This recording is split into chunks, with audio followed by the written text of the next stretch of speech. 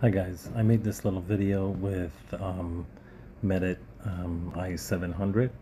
Um, I'm trying to show how to um, scan two crowns right next to each other using a double cord technique, which is sometimes challenging when uh, there are too many cords in the one area. So I basically um, prepped and packed cord and scanned tooth number 14 and now that I'm happy with it I basically blocked it which is that blue area. Tooth number 13 has a small um, lesion on the distal.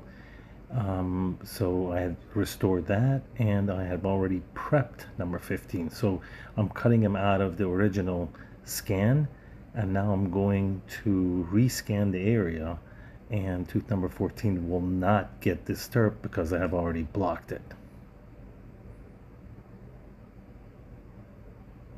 This way I can scan each tooth separately and take the cords out of the first one.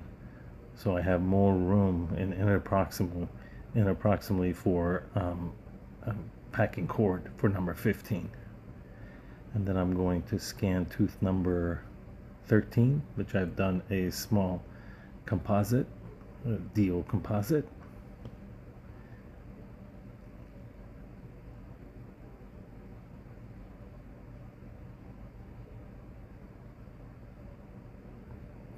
and uh, here I notice that I have um, have a spot on the distal of number 13 that did not scan properly. So I'll do the same thing. I basically block both 14 and 15 and now I go in there and try to rescan that little small area. This way if I accidentally go over 14 and 15 it does not disturb the scan that I already have and I'm happy with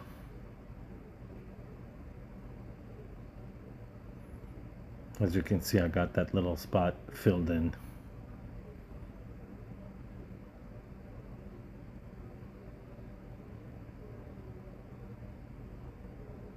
then I go and unblock everything that I had blocked and I'll go in there and uh, process the the video and then double check everything to make sure I have all the margins that I'm looking for.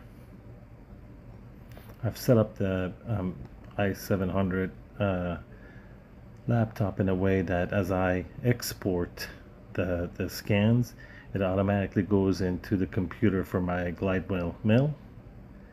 And as you can see, I have uh, drawn the margins for number 14.